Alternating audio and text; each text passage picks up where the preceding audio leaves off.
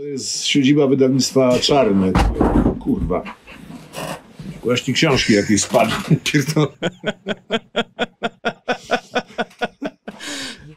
No ale to jest to, jest to no. Te, te, te, te odsunę, bo będą leciały dalej, jak pojadę z fotelem. Kurwa. To jest siedziba wydawnictwa Czarne i to jest gabinet Moniki. Ona stąd zarządza światem. Nie wpuścili dziś.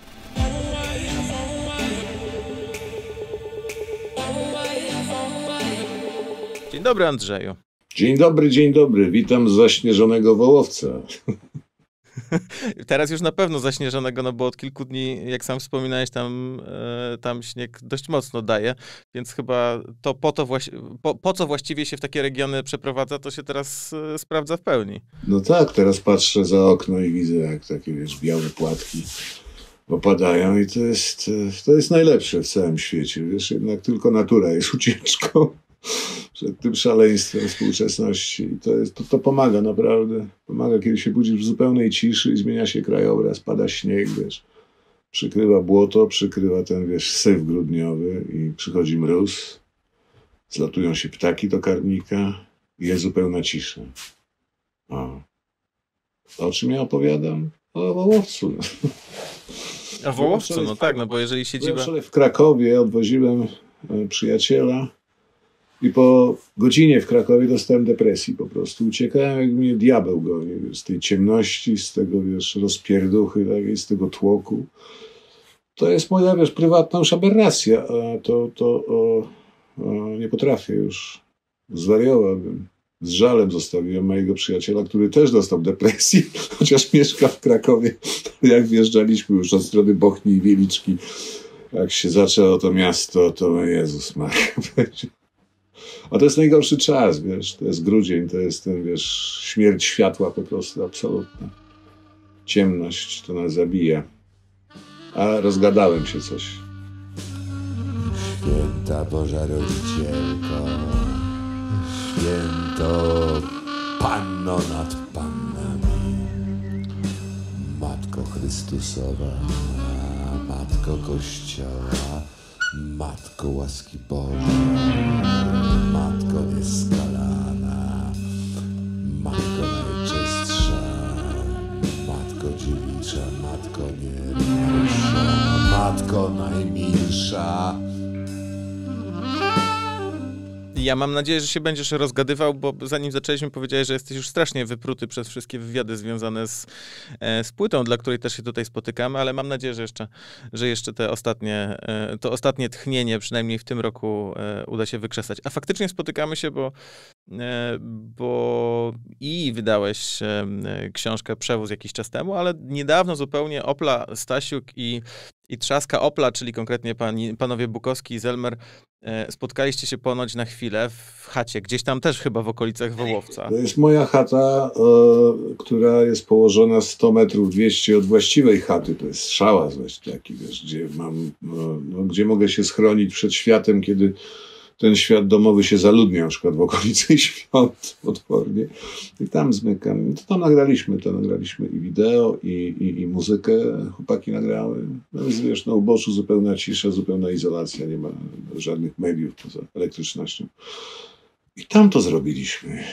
W trzy dni chyba, w trzy dni, coś takiego.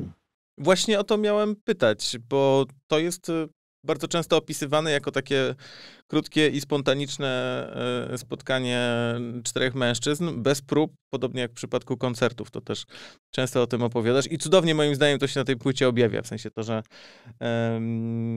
to, że nie ma tam takiego przeżarcia materiału, tylko to trwało krótko i e, krótko miało trwać, ale to, co najbardziej mnie rozbawiło, to to, że gdzieś przeczytałem jak się okazuje, że prawdopodobnie sam o, zrobiłeś najlepszą recenzję tej płyty i pozwól, że cię zacytuję.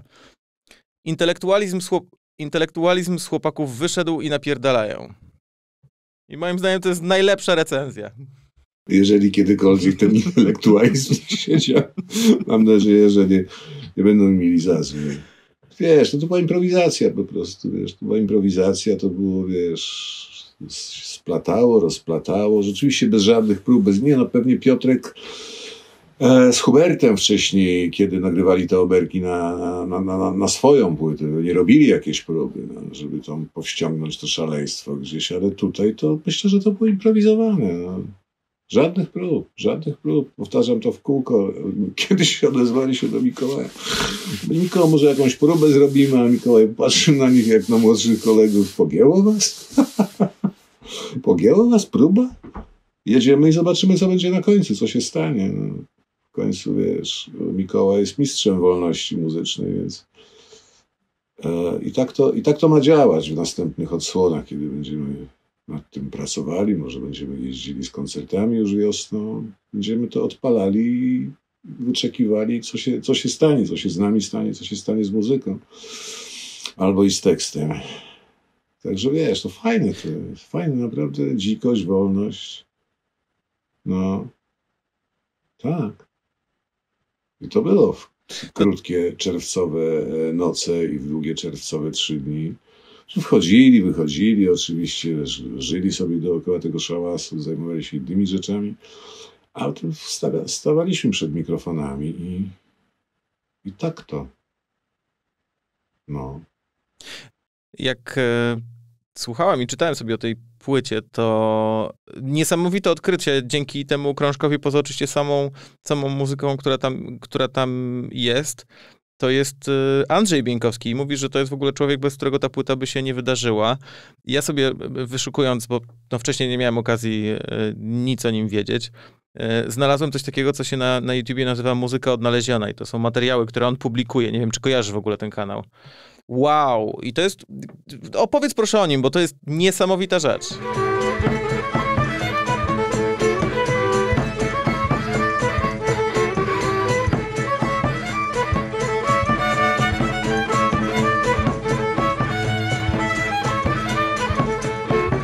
wiesz, no to jest, e, ja nie kojarzę tego kanału, natomiast kojarzę to hasło muzyka odnaleziona. No, długie, wiesz, dziesięciolecia się Myśmy wydali jedną jego książkę nawet o jego przygodach z tymi muzykami już długie dziesięciolecia, jako wiesz, e, kustosz, nie wiem, zbieracz, kustosz, kolekcjoner, odkrywca tej muzyki, podróżował po tym swoim ulubionym regionie, czyli południowym Mazowszu, gdzieś tam Radom, Przysłucha, okolice. I on to zbierał, wiesz, nasz pulowy magnetofon chyba na początku już nagrywał, potem nagrywał materiały wideo. Kiedy kamery weszły i to jest, wiesz, no, wielkie dzieło, bo bez tego to w dużej części by to przepadło po prostu. I faceci, którzy, wiesz, byli nad grobem, byli starzy, wielu już nie żyje, wielu pewnie w trakcie jego zbierań umarło i także to jest, to jest wielkie dzieło gdzieś, no, wielkie dzieło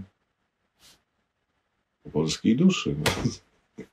Tropił, wytropił tak. i mamy to, można tego słuchać, oglądać. No się od tego zaczęło, bo ja no, kiedyś jakiś. On jakieś dwie płyty wydał wcześniej. Dwa CD jeszcze w latach 90. pewnie. E, z takim wyborem najlepszych, najciekawszych według niego, a może po prostu z wyborem. E, ja te płyty miałem. Ja słuchałem wiesz, w kółko i, w kółko i w kółko. I potem jadąc z Piotrkiem Bukowskim w samochodzie mu tu puściłem po prostu. Ale Piotrek jest milczący, to pokiwał głową. Były fajne, fajne, cool, fajne. Chyba podarowałem tę płytę, bo przegrałem, już nie pamiętam. I oni po paru miesiącach, po paru nas, nie pamiętam ile to trwało, no, że rok, nagrali właśnie z Hubertem te obertasy. Tak to w nich głęboko weszło.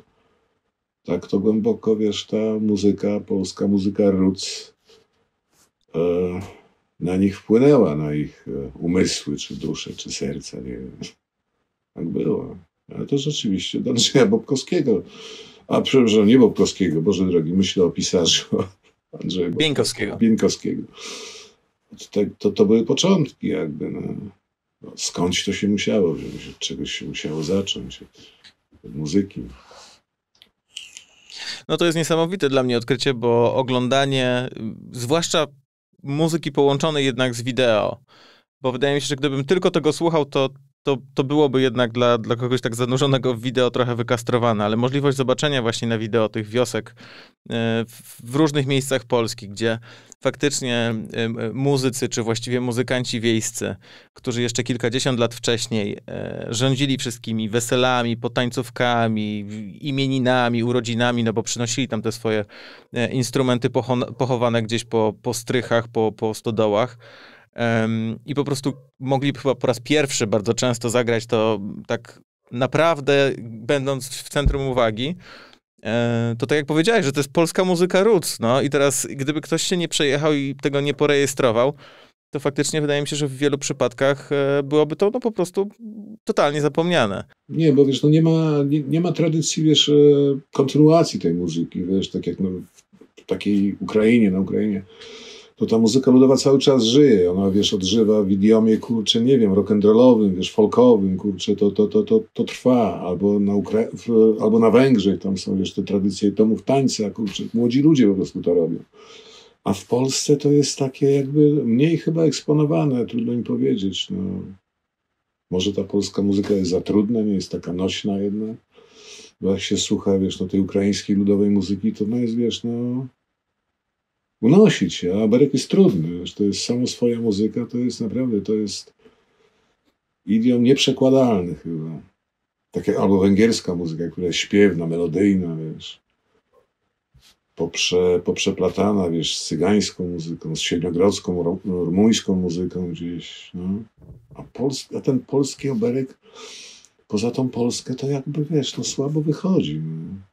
I gdzieś umarł, no, tak jak umarły wiejskie, wiesz, wesela tak jak umarły wiejskie zabawy, muzyka elektroniczna to jakby elektryczna wykończyła. Zaczęło się od harmonii. To już harmonia jak weszła do Oberka, przestało mi się podobać. Już, to, już to, te, te, nagrania Andrzeja Wieńkowskiego z harmonią są do mnie e, trochę nie do przyjęcia. Nie, tak, tak nie, nie jak ta surowość skrzypiec, tych czterech strun po prostu, wiesz i, i smyczkę. I z tego można wydobyć wszystko. No. Że uważam, że akordeon przyniósł e, zagładę polskiemu oberkowi, z czym oczywiście można się nie zgodzić. No. Ale tak. No z perspektywy dzisiejszej, e, z perspektywy patrzenia na dzisiejszą muzykę, e, to faktycznie bardzo tradycjonalistycznie do tego podchodzisz, żeby nie powiedzieć fundamentalistycznie, jeżeli już harmonia to było za dużo. No i że na akordeon, czy wiesz, e, to, to, to jest coś dziwnego. No, jego późnym dzieckiem jest parapet, kurczę, w disco polo. No. jakieś Casio, wiesz, jakieś klawisze. Gdzie muzyka ludowa i wiesz, i klawiatura w ogóle. Co, skąd? Fortepian się raptem w tej muzyce ludowej miał objawić, wiesz? No. To, to było takie dla mnie, ale to ja tak wiesz, ja jestem rzeczywiście strasznie ten ortodoksyjny. Powiedz proszę, jak, bo m, oczywiście gdzieś tam nawiązywanie do muzyki, y, muzyki ludowej, muzyki wiejskiej, no to jest równocześnie w przypadku każdego i osób, które wykonują tą muzykę i jednak słuchaczy, w jakimś stopniu wycieczka w przeszłość, tak? Wycieczka do, e, do, do czasów dzieciństwa w przypadku jednych. Wydaje mi się, że w przypadku osób młodszych to może być wycieczka nie tylko do, do, do samego dzieciństwa, ale taka, takie odwiedziny trochę przodków, no nie? Odwiedziny gdzieś tam babci na wsi, wyjazdy raz, raz do roku gdzieś tam właśnie na południe czy na północ Polski, żeby przez parę tygodni e, pobyć. Ja się zastanawiam, na ile dla ciebie w ogóle tak, taka tematyka jest w jakimś stopniu, nie wiem, afirmacją swojej przeszłości, no bo to też, i o tym jeszcze nie powiedzieliśmy, e, jest muzyka, która e, mocno odnosi się do polskiej religijności, jak sam mówisz, e, takiej w rozkraku, bo rozdziela, rozdzielającej na dwa obszary między Janem Pawłem II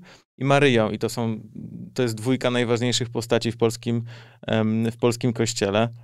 Więc ja, ja się zastanawiam, bo ty to łączysz w umyśle swoim, nie no wiesz, no jasne, że przeszłość jest czymś strasznie istotnym i to skąd pochodzimy, a ja się coraz częściej, coraz częściej tym zajmuję, wiesz, coraz częściej tam, tam powracam, bo nie wiem, no szukam siły jakiejś. No. Może to jest ucieczkowe gdzieś. Ale z drugiej strony ta, wiesz, przeszłość się bardzo, bardzo współcześnie aktualizuje nieustannie. Nie wiem, dlaczego zrobiliśmy takie, wiesz, sklejenie. To, to nie, to, to, to, to religijność do tego ja dodałem. w, moim, w moim e, skromnym rozumku to się gdzieś albo w serduszku połączyło, bo, bo, bo Berek jest pogański gdzieś tak naprawdę, wiesz, tak mi się wydaje. On nie, nie grano Oberka w kościołach. Kościół nie był inspiracją dla Oberka. Bóg wie, co było tak naprawdę. Trzeba muzykologów, historyków popytać. E, nie przyszedł z dworu gdzieś, nie przyszedł z kościoła i a był czymś strasznie ważnym w pewnym regionie, wiesz, w pewnym czasie tego, tej naszej historii. A ja w tym swoim perwersyjnym umyśle splotłem to z taką, wiesz, no jakby, żeby tą dzikość, pierwotność, z jakąś sublimacją taką, którą, której doświadcza jednak, e, której się doświadcza religijnie, wiesz, w Polsce, czyli, wiesz, tego poematu, poematu poematów o Matce Boskiej, o właśnie Matce Boskiej Loretańskiej. To się splotło, żeby to, wiesz, ten zwierzęcość oberka z tą światłością, jakby, wiesz, e, połączyć gdzieś. Ale to być, tak działa mój perwersyjny umysł. Nie wiem, dlaczego tak się stało. Może dlatego, że kiedy graliśmy w moim szałasie, miałem dużą kolekcję modlitewników e, polskich i dużą kolekcję e, Biblii. I może mój wzrok po prostu padł na któryś z modlitewników. E, taki specjalny rodzaj dla osób starszych. Tam są bardzo duże litery, wiesz, właśnie bez okularów. I przypomniało mi się, wiesz, jedno z ważniejszych doświadczeń dzieciństwa, właśnie ta loretańska i w kościele, i w prywatnych obrządkach, wiesz, mojego, mojego dziadka mazowieckiego. Splotło się. Wiesz, na tym sztuka polega, no, coś przychodzi do głowy, intuicja coś się splata, koincydencja, przypadek, nie wiem. I mam nadzieję, że to się będzie, będziemy to rozwijać. Są początki. Już na koncercie warszawskim, jedynym jak na razie, to się już rozwinęło, już zupełnie inny tekst, więcej tekstu było. I, no, nie wiem, ja, ja to czuję po prostu. A czy chłopcy to czują? No, Piotrek musi czuć, bo do, do mszy służył. To dla niego też podróż do dzieciństwa, żeby tam kadzidło palili podczas tego. Kupiłem w Gorlicach w sklepie Maryjka kadzidło, puszkę kadzidła takiego, wiesz, kościelnego, nie jakieś tam hinduskie czy inne. No prawdziwie, normalnie, wiesz, zapach ten. Tylko jeszcze dodać tego świecę, wiesz, stare drewno, zresztą szałas jest ze starego drewna.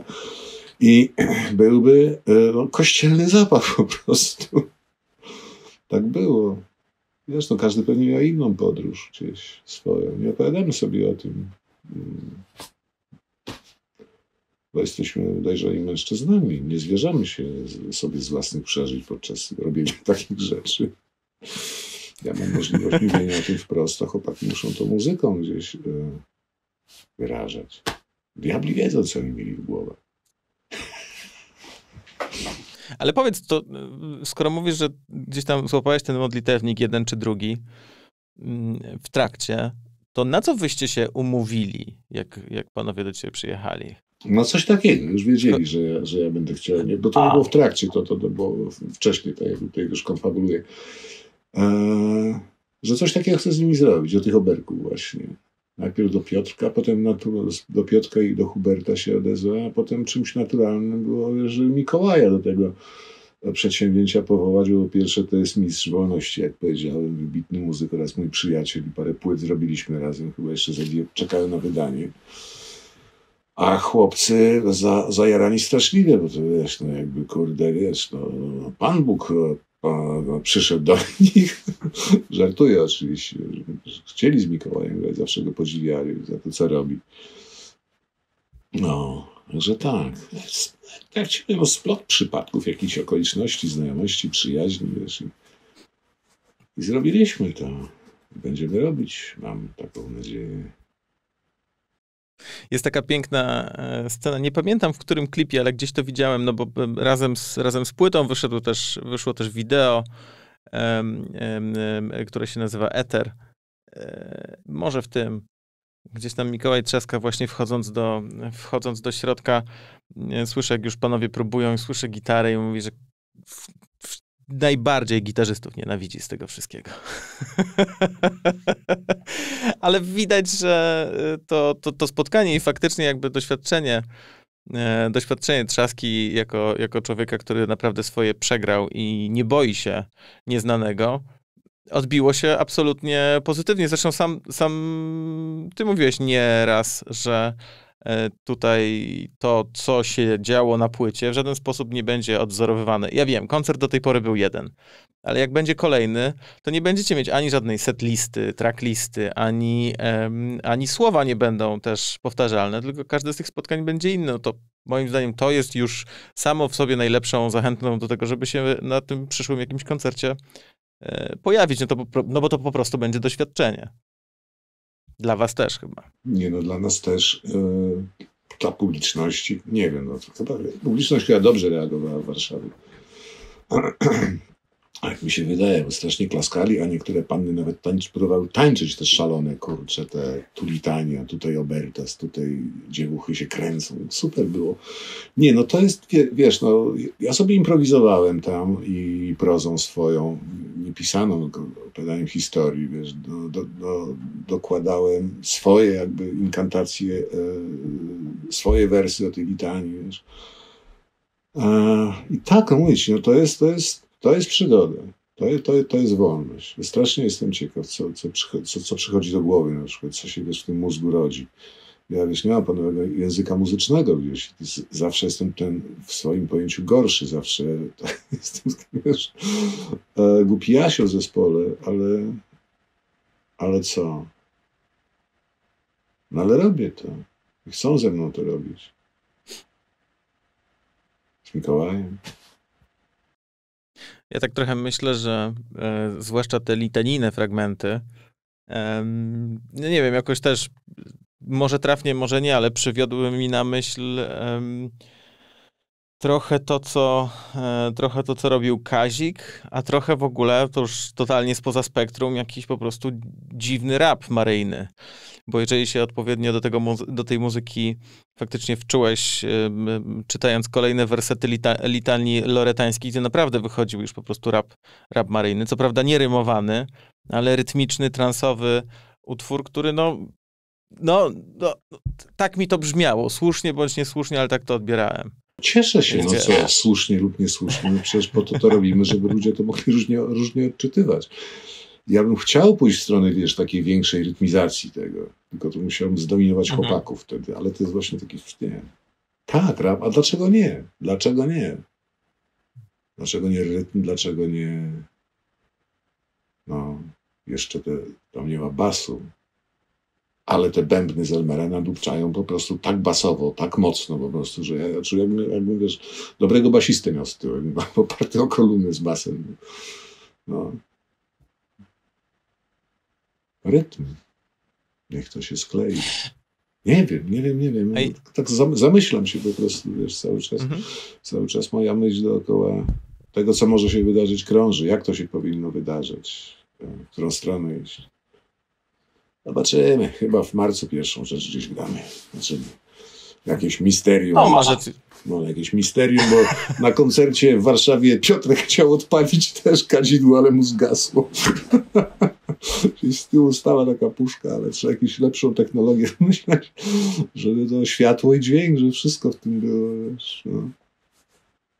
Zrobić przedstawienie, przedstawienie po prostu. W końcu. No. Powiedz proszę, jak e, gdzieś mi się to o uszy czy oczy obiło e, i nie wiem na ile to jest prawda, na ile e, trochę opowieści, które są na płycie, są przedłużeniem twojej ostatniej książki, czyli przewozu? Słuchaj, tak jak wszystko jest przedłużeniem w moich książkach.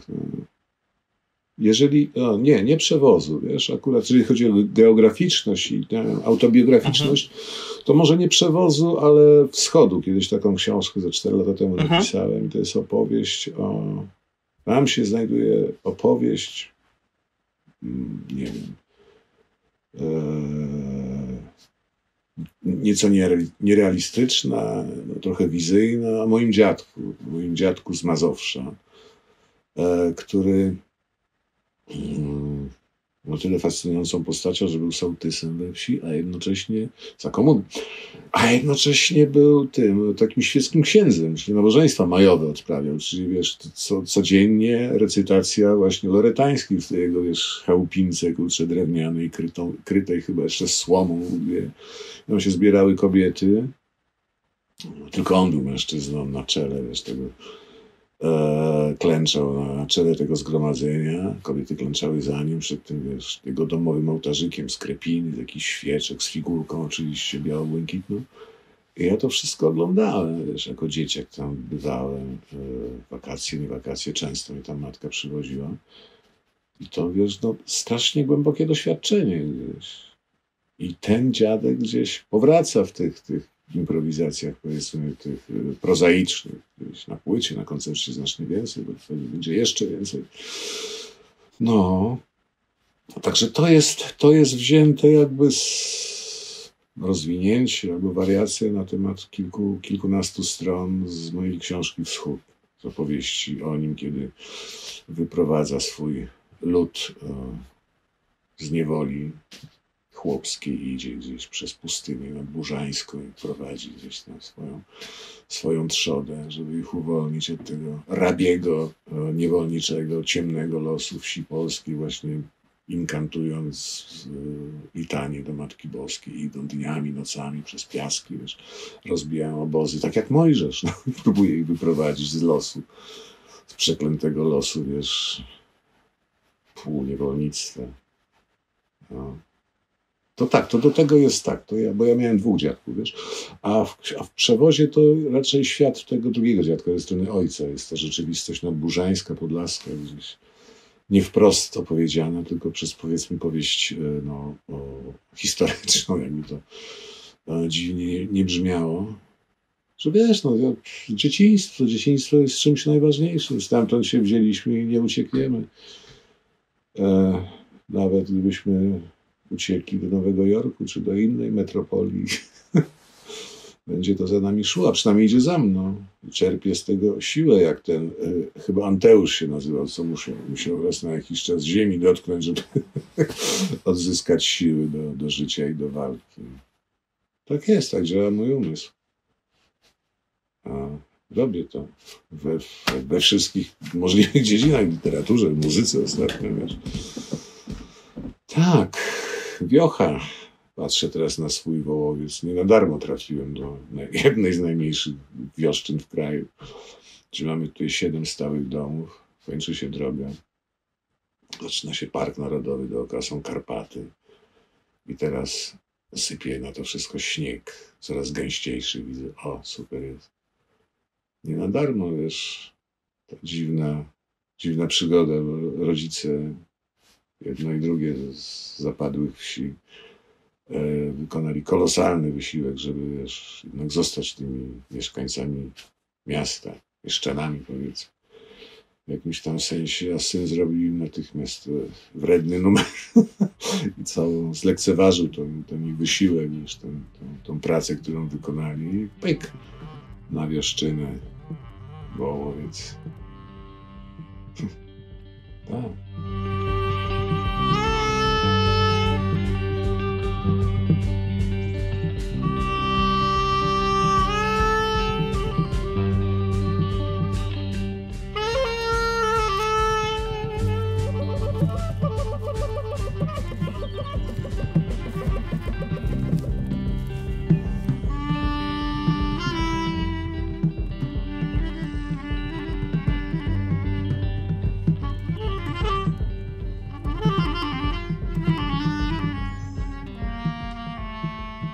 Wydaje mi się, że święta i te wszystkie wędrówki tych synów, którzy jednak, synów, córek i rodzin całych, które jednak z tych e, wsi e, pouciekali do miast i tylko na święta się pojawiają w tych wioskach, to jest, e, to jest w ogóle idealny moment takiego splotu żywotów, no bo można sobie właśnie przypomnieć, jak się jeszcze w ogóle do tego starego kościółka w swojej wsi rodzinnej pójdzie na, na pasterkę czy którąś, którąś z mszy w święta, to to wszystko tam współgra, tak? W sensie y, to, co się słyszy z ambony, zapach kadzidła, o którym wspominałeś, spotkanie, nie wiem, sąsiada, sąsiadki e, z przeszłości, to wydaje mi się, że w ogóle to, to, jest, to jest teraz też po prostu idealny czas, który pokazuje, jak bardzo e, to, do czego w twojej twórczości często wracasz, muzycznie teraz też, współgra. I ja się zastanawiam,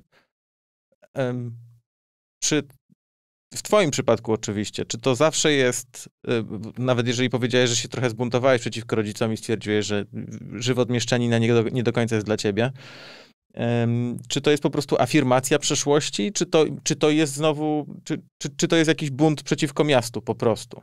Ta chęć bycia tu, gdzie jesteś. Nie, no w moim przypadku to nie ma żadnego buntu, po prostu ja wybierałem sobie to, co chcę robić, wiesz. Kiedyś w wieku lat 13 albo 14 zostałem wysłany na kolonię albo na obóz Bieszczady, proszę ja ciebie, z fabryki samochodów osobowych, gdzie ojciec pracował. I zobaczyłem góry po raz pierwszy. I ten krajobraz tak mi wrósł gdzieś, wiesz, no, serce powiedzmy, że potem jak tylko nadarzyła się okazja, to nawet nie tyle była wieść, co pojechać w góry i tam zostać, wiesz, żeby oglądać tą falistą linię horyzontu z domysłem, co jest za tą górą, co jest za następną, schodzeniem e, poprzez te grzbiety i oglądaniem otwierających się widoków. Że to wiesz, kiedy ja się wyprowadziłem w góry, to nawet nie była wieś. To była samotna chałupa po wysiedlonej Łemkowskiej wsi. Jedna została w czarnym no, dwie właściwie z, siedemdziesięciu paru domów e, do lat 46, 7, kiedy akcja Wisła to wszystko wymiotła, zniszczyła. I ocalał ten jeden samotny dom, który należał do mojego przyjaciela Jurka i ja się tam wyprowadziłem, już w góry, w pustkę cudowną, w krajobraz.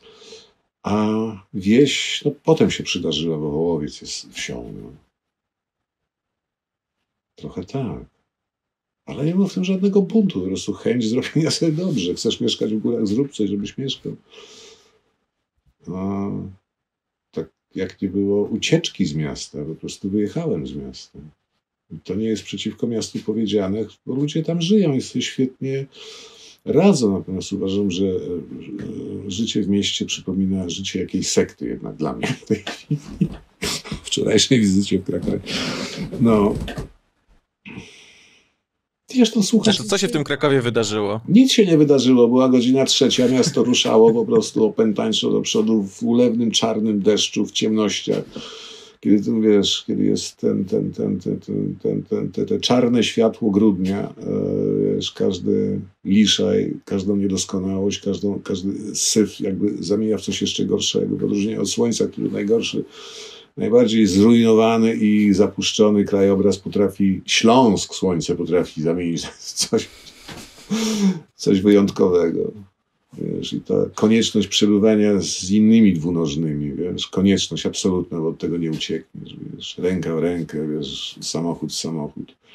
I ten mrok po prostu, i mroki. Czarne, wilgotne, błotniste światło. Ale czuję, jestem wariatem już. Ja w Warszawie te, też nie wytrzymuję dłużej niż 2-3 dni. W żadnym właściwie mieście poza miastami mongolskimi na przykład. To tak, no. Ale to też, no, aberracja, której się nabawiłem, żyjąc tutaj, wiesz, no, w cudzie krajobrazowym. Z e, sąsiadów nie muszę oglądać, ja mam wspaniałych sąsiadów. Nie muszę ich na co dzień oglądać. No. Także tak. O czym my rozmawiamy właściwie? Głównie o tobie. Głównie o tobie i mieszkaniu na wsi. Wiesz, jest, są święta. Ja tutaj, ja nie chcę przeprowadzać e, wywiadu pod tytułem Andrzej Stasiuk i koledzy wydali płytę i dowiedzmy się wszystkiego o tej płycie, ale trochę staram się tą naszą rozmowę osadzić w czasie. I ona sobie po prostu żyje w tym świątecznym czasie, gdzie nawet ci dwunożni e, których spotkałeś w Krakowie ostatnio, e, ramię w ramię gdzieś. Nie daj Bóg, mam nadzieję, że cię e, znajomi nie prowadzili przez jakąś galerię handlową, bo to już chyba w ogóle byś nie, mógł nie przeżyć. Posłuchaj, ja tam byłem chwilę, ja wysadziłem, e, kurczę, e, Wojtka pod jego domem i nawet nie wysiadałem z auta, bo nie było gdzie tego auta postawić tam, wiesz. No. Okej. Tylko, tylko przejechałem przez Kraków, godziny szczytu, więc zanim się wydostałem na obwodnicę, to był jakiś ten horror. No, także da, No to wiesz, i ja o tych dwunożnych i, i, i tym spotkaniu, bo część z tych dwunożnych, którzy cię, którzy cię mijali wczoraj, e, to teraz być może albo siedzą w samochodzie i wracają e, do swoich miast, albo nadal, e, nadal trawią sałatkę.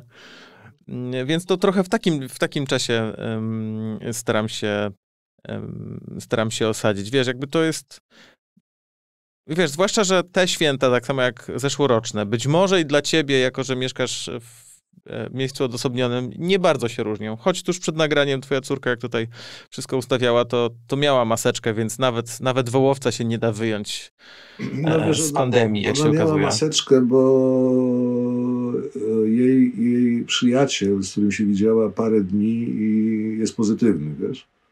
I ona ma maseczkę ze No względu, wiem, wiem, wiem. Ze względu na starych rodziców nosi maseczkę i wiesz, malutką kwarantannę sobie robi, żeby nie było zaskoczeń. Także no, normalnie chodzimy tu bez masek, to tak się No to ja się absolutnie domyślam, że e, żadna policja raczej za ludźmi w wołowcu nie biega, mówiąc, że mają nałożyć. Słuchaj, no cudowne to było przy pierwszym lockdownie, tym, tym wiesz, masywnym i dużym tutaj, wiesz, te siedem domów, droga się kończy i jedzie straż pożarna.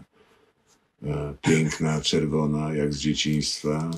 E, I ma te tam głośnik włączony, ma te, te e, szklanki fioletowe mijają, migają i z głośników nadają. Proszę, pozostańcie w domach. Prosimy nie opuszczać domów. Proszę, proszę o pozostawienie w domach. Tu jest dom od domu, wiesz, o nie wiem, o 200 metrów, o 150. Każdy ma kilkanaście hektarów dookoła siebie. Ale cóż, no chłopcy z OSP musieli wykonać swój obowiązek i objechać całą gminę. Że dotknięcie surrealizmu, takie rzeczywiście wtedy zauważyłem, że ten świat jednak e, płata, nie, płata figle jeszcze wciąż. Ale rzeczywiście tutaj wiesz, to się w znacznie mniejszym stopniu odczuwa niż, niż w mieście. No. Kiedy wiesz, widzisz człowieka, który jest potencjalnym zagrożeniem tak naprawdę. Wszyscy się wszystkich boją, wiesz, dystansują się, albo wiesz, te wszystkie nienawiści, które są wiesz, e, podkręcane, wiesz, antagonizmy. Tutaj tego nie doświadczasz. No. Patrzysz na śnieg. Ale na całe szczęście chłopcy z OSP przynajmniej mogli e, wyjąć z remizy samochód i go przepalić w środku roku. Mam nadzieję, że pożarów tam i wypadków też jest niewiele, więc to akurat mogło... Odpukać nie. Ostatnio chyba dach zerwało tego lata i tam mogła straż pomagać, ale odpukać tutaj o, słychać. E, jakoś, jakoś nie, jakoś nie. W miarę spokojna i jakoś taka podejrzanie spokojna okolica, abym nie wykradł czegoś. No właśnie. Powiedz proszę, bo to mnie zawsze ciekawi. Ja, tak jak zresztą wspominałem, ja sam jestem z, z dość małej wsi em, rodzinnie i tam raz na jakiś czas się pojawiam. Em, zastan- bo w przypadku mojej wsi typowo sadowniczej, która po prostu od zawsze była usiana albo jakimiś szklarniami, jakimiś tunelami, ewentualnie sadami, to, to, to, to było to, co się tam działo. No to przez lata mojej y, rzadszej obecności, jak tam wracam, oczywiście widzę no, potężną zmianę z roku na rok, tak? Nie tylko to, że y, kolejne drogi są asfaltowane, że jakieś chodniki się pojawiają, ale po prostu widać coś, co sprawia, że takie y, dobrze prosperujące, dobrze radzące sobie wsie po prostu wyglądają jak suburbia miasta, de facto. I część tam osób się zajmuje może jeszcze rolnictwem, ale część, część już zupełnie nie. E, Zastanawiam się, jak to wygląda w, w twoich okolicach, w sensie, czy tamte ziemie to jest jeszcze trochę taka, w cudzysłowie oczywiście, pocztówka, czy, czy, to, czy to też jest coś, co po prostu jest bardziej oddalonym od miasta, od miasta miejscem? I na przykład, czy y, y, jest jakaś grupa ludzi, którzy wykorzystują fakt, że w Wołowcu jest, jak sam powiedziałeś, siedem domów, no i próbują kupić ziemię i, i tam sobie te takie y, od, bardziej oddalone od miasta jakieś przyczółki budować? No tak, drugie siedem domów to są domy ludzi z miasta. To jest chyba ze 14. No widzisz. Co roku właściwie, co dwa lata powstaje. Ale sam Wołowiec, wiesz, jest malutką wioszczyną tak naprawdę. Tu było 128 domów przed akcją Wisła. Potem gospodarzy wróciło czterech, pięciu. I, i wiesz, no powymierali. Właściwie jest jeden mój sąsiad, e, Leszek, który, który ma jeszcze gospodarstwo, ma zwierzęta. Wiesz, co, co podstawą taką dla mnie, jak się przemieszczam po, po Polsce i patrzę e, na wsie, to jest to, że zwierzęta zniknęły. Nie ma zwierząt. A jakieś wiesz, gdzieś tam krowa się czasami pasie, gdzieś tam. Ale ta współistnienie te zwierzęco-ludzkie przepadło, zniknęło. Wiesz, zwierzęta wiesz, mieszkają w fabrykach zwierząt, w fabrykach mięsa.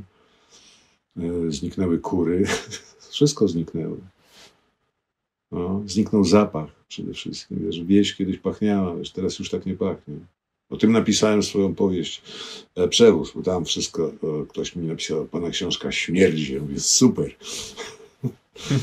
o tej, wiesz, symbiozie człowieczeństwa i zwierzęcości, o tych zapachach, od, które się przenikały, kurczę, by nie, nie, nie do odróżnienia życia, życia ludzkiego, życia zwierzęcego. Wieś, wieś się wysterylizowała, po prostu zapachowo, wydezodorantowała. Masz rację, no zamienia się w suburbia. No.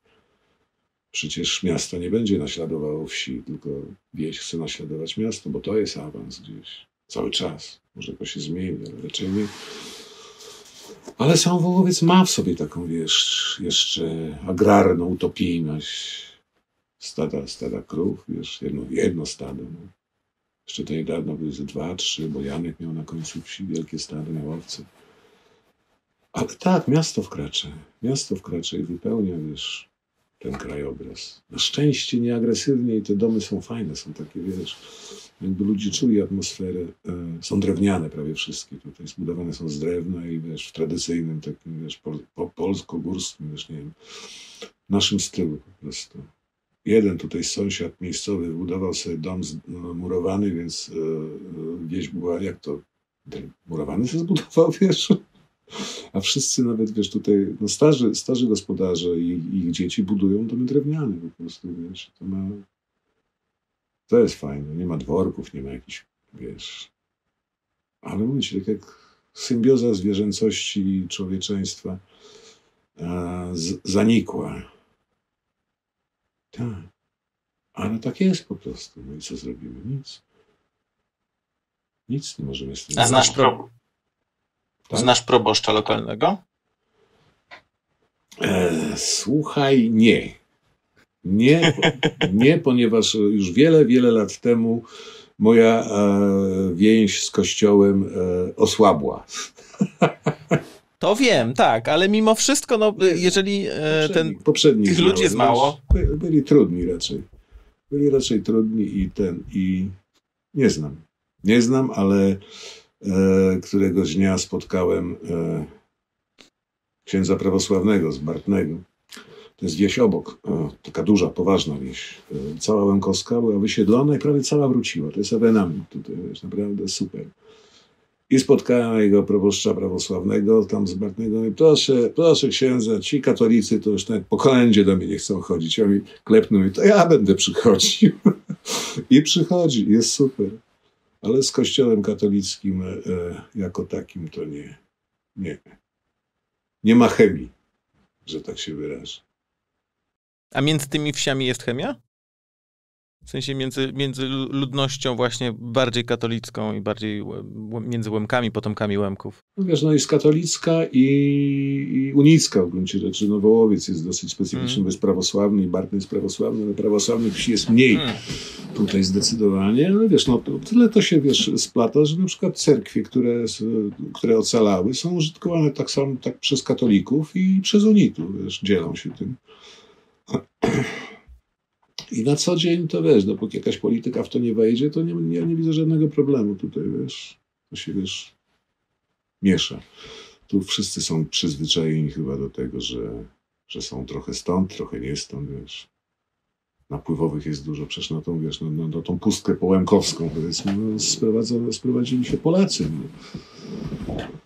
Gdzieś tam spod Limanowej, spod Limanowej, gdzieś bardziej z gór z tych, wiesz, zagęszczonych wsi, czy wiesz, przeludnionych, tutaj przyjechali gospodarze. Albo do PGR-ów zostali, wiesz, jakby skaptowani, bo duży, duża część ziem, terytoriów e, powysiedleniowych została zamieniona w PGR-y.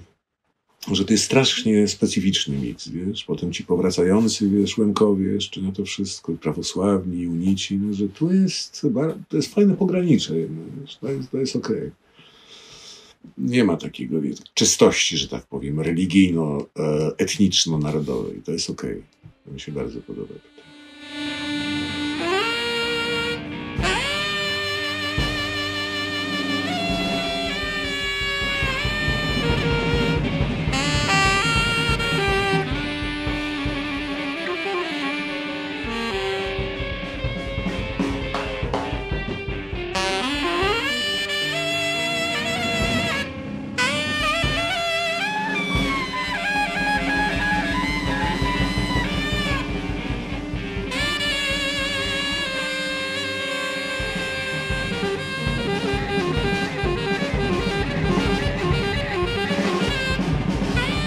Czujesz, że polityka nawet tam y, potrafi przychodzić w butach? Czy, czy jednak, bo, bo bardzo często bywało tak, ja mam przynajmniej takie wrażenie, że wsie e, były trochę poza tym takim bieżącym czasem politycznym. Tym, czym się ekscytowano w miastach i to, co, co bardzo gdzieś tam ustawiało dnie i tygodnie ludziom, jeżeli chodzi o dyskusje w miastach, e, to jednak na wsiach nie przechodziło, no bo ten rytm E, rytm roku, rytm pór roku sprawiał, że po prostu to szkoda było gadać. Nie wiem, czy to dalej tak wygląda, czy... Tutaj to się żyje, wiesz, lokalnymi sprawami, no.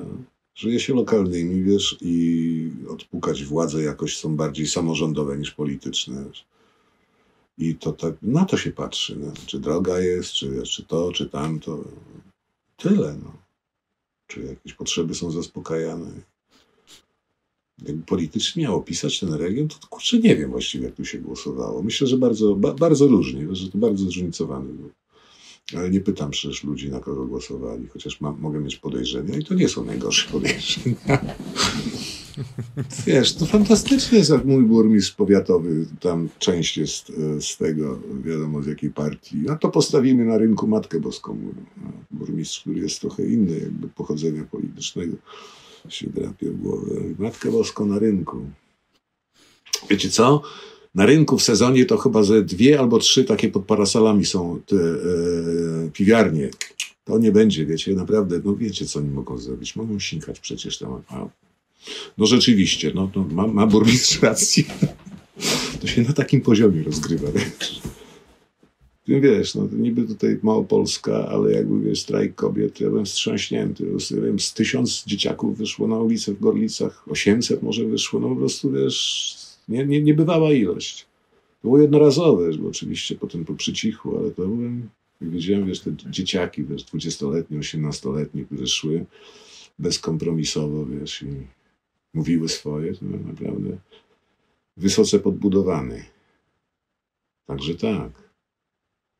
No, a jak przyjechał prezydent, e, ten, co tam, tam urzęduje miłościwie, to jednak mieliśmy tak potężną załogę, że dawało się go zakrzyczeć.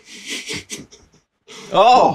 Było, było, kilka, tak. było kilkaset osób. Nie mieliśmy strategiczne miejsce nad jego tym miejscem wystąpienia i tam myśmy e, przeróżne hasła. Kilkaset osób było. No fakt, że na dole tam jego kibiców było parę tysięcy, no ale nie, Gorlice są spoko, Gorlice walczą, mój powiat. Ale to prezydent był w ramach kampanii, czy później? Ta ostatnia kampa- to była jego ostatnia okay. wizyta kampanijna. W białej koszuli miał podwinięte rękawy i strasznie się darł po prostu. Tak się darł. Ja nie rozumiałem. Nie można spokojnie takich rzeczy powiedzieć, tylko się drzeć po prostu. Także gorlice walczą. Tak jak czyli, no to jest fajna, pomieszana rzeczywistość. No, nie ma takiego, nie ma, nie ma tej, no, ten, monokultury ma monogami jakiejś. Tak. To jest piękna, piękna wizytówka, którą wystawiasz, no bo mimo wszystko gdzieś tam e, południe, wschód Polski bardzo często jest e, sprowadzane do, do tego w ogólnopolskich przekazach, tak? Na to, po której stronie sporu jest, nie? Może ja mitologizuję krainę, w której mieszkam, ale tak, tak to. Na pewno. Tak to odczuwam. A może to nie jest ani podkarpackie, ani, ma, ani małopolska? Może to jest jakiś taki, wiesz, cud? nie wiem. Cud piękności. Nie, na pewno mitologizuję, wiesz. A może też tak przez pryzmat swojej wsi o tym wszystkim mówię, gdzie wiesz, że trudno mi sobie wyobrazić w sensie, no, natury, ale też ludzkie miejsce do mieszkania. Kilkadziesiąt lat tu mieszkamy i z sąsiadem raz się pokłóciłem. Jakiś duperę. A co się pokłóciliście? A, bo chyba jego, jego byki tam rozwaliły mi jakieś te bele z sianem, a, tam, a mój pies tam zagryzł, nasze psy zagryzły mu owce i tyle. No. Ja sąsiada fantastycznego, tutaj tego najbliższego.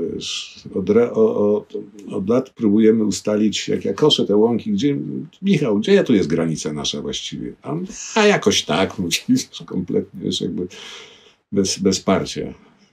A gdzieś jakoś tak idzie, co cię to obchodzi, gdzie jest granica. Nie ma tam żadnych, y, żadnych posadzonych drzew po to? Nie, nie, nie ma. Jest tak okay. przez środek łąki jakimiś zakosami sobie tak idzie, więc, hmm. więc nie mieć sporu o miedzę z sąsiadem przez kilkadziesiąt lat, to jest w Polsce to jest coś lekceważyć w ogóle to jest... granicę. Ale tamte tereny, tamte tereny były poddane takiemu parcelowaniu? jak, jak duża część Polski, czy, czy to inaczej wyglądało? No bo duża... Zostały zrabowane po prostu. No przecież wypędzono ludność łemkowską, kurczę, wiesz, no, akcja Wisła, więc Polska zarekwirowała to wszystko, wiesz. Znaczy to to wiem, tylko czy później, czy później e, było tak, że po prostu, no tak jak duża część Polski, e, polskiej wsi jest po prostu po, po, e, pocięta w takie podłużne paski odgórnie, gdzie te tereny były przyznawane, tego tam nie ma. Tego tam nie ma, bo tu wiesz, jakby w tych rejonach rolnictwo było mniej istotne, ponieważ gleby są e, górskie i nędzne i to i hodowla, czyli mm. wypas przede wszystkim. Wypas, kurczę, wypas, wypas, jakiś spłachetek okay. kartofli tam, spłachetek zboża, wiesz, tam dalej na północ już się to zaczyna, ale tutaj to wiesz, no, to jednak tak, tak, tak, tak to, to, nie, to nie jest polska szachownica. Mówię o górach, bo tam no po, po, górze już, już jest takie, wiesz, e, pofalowane pięknie i poszatkowany, ten, poszachowanej. E, no, a tutaj wiesz, no, duże areały. No, no i wiesz, no i tak. Tak. Nie mogę oderwać wzroku od tego wiesz, gęstniejącego śniegu. Ja mam nadzieję, że ja mam nadzieję, że w pozostałych e, częściach kraju też chociaż trochę tego śniegu zostało że nie wszystko napadało, e, nie, nie wszystko napadało w Wołowcu. No, właśnie domyślam się, bo... Nie, cały śnieg na Beskid Niski, kurczę. Domyślam się, że zasypanie was nie jest nigdy problemem, bo i tak się zdarza co roku, jak mnie mam. O, kiedyś było ciekawie, bo teraz Wołowiec jest odśnieżany, ale jeszcze jest 10-12 lat temu, to tutaj z odśnieżaniem było bardzo różnie. A teraz, Jezu, o 5 rano mnie zbudził ten e, ciągnik, który mnie od, odśnieża tutaj do nas od drogi. Nie, teraz jest cywil... Czego mi brakuje tej dzikości? Bo czasami to, wiesz, parę godzin trwało wydostanie się z Wołowca, bo tu droga bardzo do góry idzie i bez żadnych serpentyn i strasznie ją zawiewało. I to był wyczyn, wydostać się z Wołowca. Łopata, łańcuchy, słuchaj, napęd 4-4 i tak się czasami nie dało. Także wiesz, czasami tęsknię do takich y, wyzwań. No. A nie, nie, nie przeraża, znaczy może przeraża to jest za mocne słowo. Nie myślisz w ogóle o e, właśnie niedogodnościach życia na, na wsi dalszej e, w kontekście tego na starość, no? Oczywiście, że myślę, ale na razie wiesz, na razie jakoś daję radę. Chociaż powiem ci, dwa lata temu spadł wielki śnieg, już tak późną zimą już. Nie wiem, zbudziłem się rano i pół metra chyba walnęło, 40 centymetrów i żeby odśnieżyć podwórko, taki wiesz, tutaj skromny areał, wziąłem łopatę i robiłem to parę godzin i siadł mi kręgosłup. Po prostu poczułem, że jestem stary, że już nie, nie, są te czasy. No to pojechałem, przepraszam bardzo, i kupiłem sobie odśnieżarkę chińską. Taki, wiesz, do jeżdżenia. Taką prowadzoną? Tak, dzisiaj ją właśnie doprowadzam do użytku po letniej tej, letniej, letnim tym. Wiesz, no jasne, że tak, no wyobrażam sobie że to będzie trudne, ale z drugiej strony nie wyobrażam sobie życia gdzie indziej. Nie wyobrażam sobie, że mógłbym umrzeć gdzie indziej. To już w ogóle nie wchodzi w grę. Nie chciałem umrzeć w mieście. Chciałem umrzeć tutaj. e, tego lata właśnie społecznie grodziliśmy, ogradzaliśmy cmentarz na Wołowcu. I tak myślałem, kurde, chłopie, grodzisz dla siebie, to jest super. Gmina dała materiały, a ludzie tu się wzięli do roboty i ogrodziliśmy piękny cmentarz koło cerkwi na wzgórzu. O, sarny przychodzą, jelenie przychodzą. No. no to gdzie tu umierać? Gdzie, gdzie indziej można umrzeć, jak się coś takiego ma? Nie no, myślę o tym, jasne. No.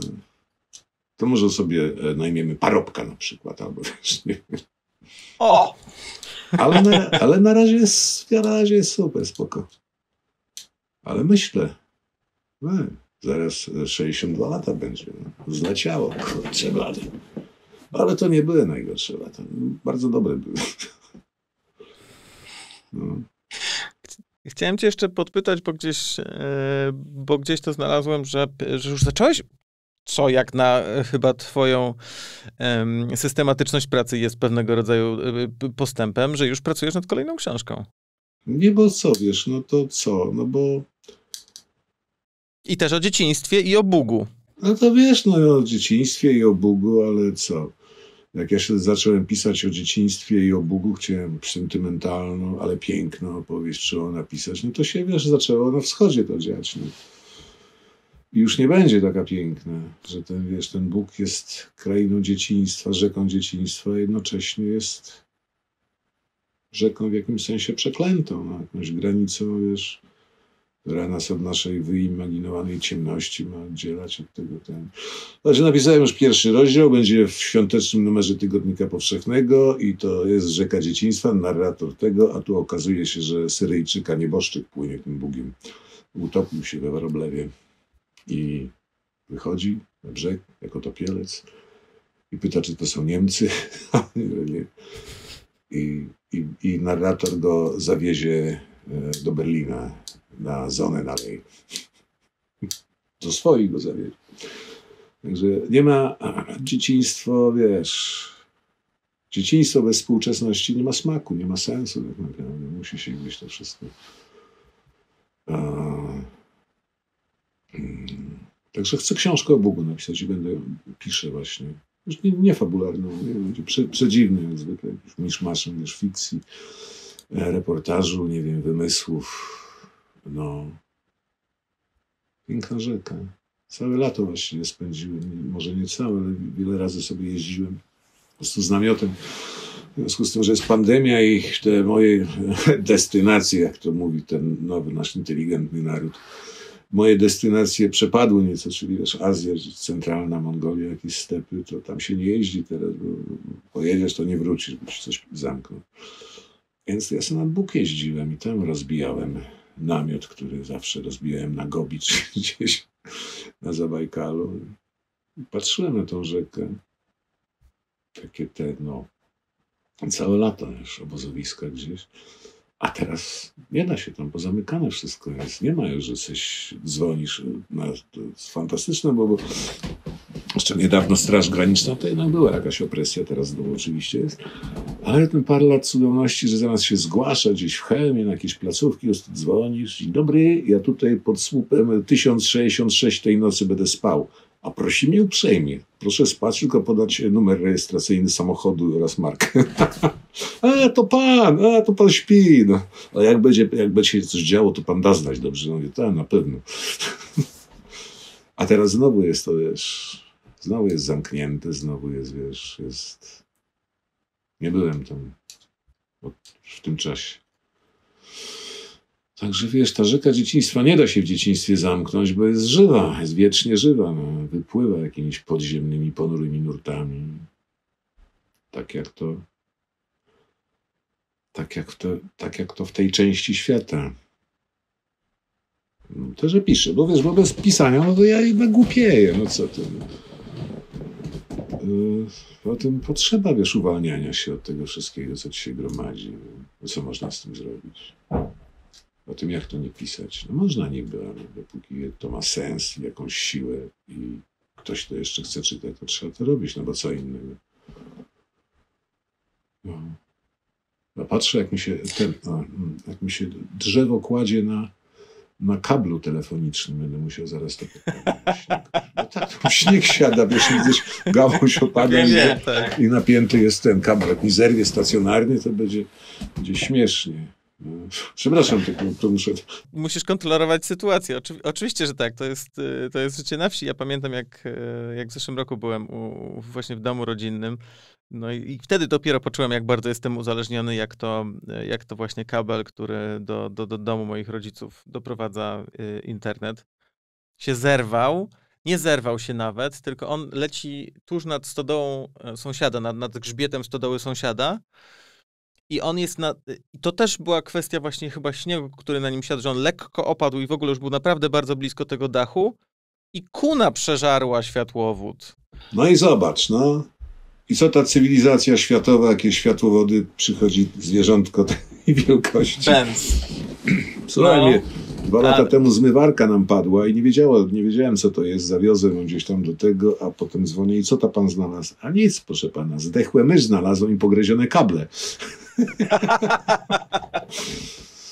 Tak było. Jezu, ja kiedyś miałem w, w samochodzie, znalazłem gniazdo myszy y, w filtrze powietrza. Rozumiesz? Tam jest gąbka taki fajny i one chyba jeździły tym. A w każdym razie znosiły tam, wiesz, kulki psiego jedzenia. Po prostu gdzieś się dostawały i tam obozowisko e, rozbiły. W filtrze powietrza, w aucie, które na co dzień było używane. Ja jestem pełen, pełen, pełen podziwu dla przyrody, wiesz. Człowiek to nic nie potrafi. A taka mysz albo kuna jest... Ale to też oznacza, że chyba jednak y, jakoś bardzo szybko ten samochód nie jeździł. Nie, to jakaś terenóweczka skromna. Ja nie jeżdżę już szybko, wiesz. Kiedyś jakieś, nie, a teraz, teraz już nie. Teraz jeżdżę 90 na godzinę. Trąbią z tyłu bardzo dobrze. Mam w dupie, mam duży samochód, to nie chcę trąbić. Starość ma swoje, wiesz, przywileje. Nie ścigasz się po prostu. Kurde, nie ścigasz się. Byłeś już tak daleko i wróciłeś. Co się będziesz ścigał z jakimiś, kurwa, golfami, czwórkami na przykład, wiesz. Zadaję takie pytanie e, ostatnimi czasy na koniec wszystkim moim e, gościom i wydaje mi się, że to, to pytanie zadane tobie y, jest jak najbardziej naturalne. Mianowicie pytam moich gości o to, co by sobie powiedzieli, gdyby się mogli spotkać młodszych, takich na przykład, jakbyś spotkał Andrzeja Stasiuka lat 10, to co byś mu powiedział? Rób swoje. Rób swoje. I nie słuchaj dorosłych za bardzo. Słuchaj mądrych. Nie, nie wiem, co bym mu powiedział. E, Pewnie wiele rzeczy bym mógł powiedzieć.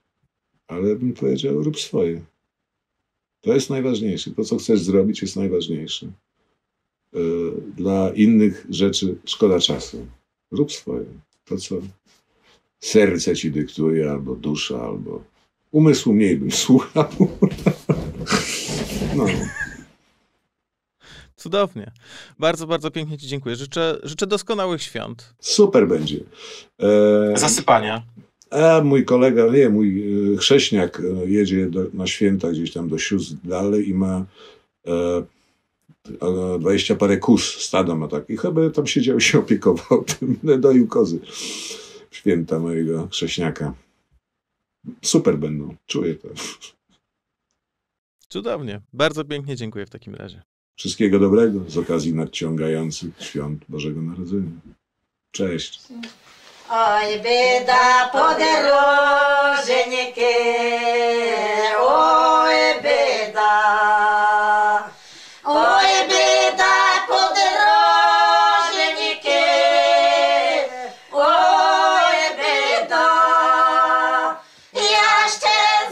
Happy New